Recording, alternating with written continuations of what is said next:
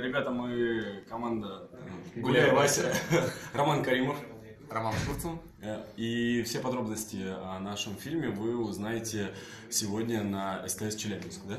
Да. Пускай приходят на премьеру. Обязательно. Обязательно приходите.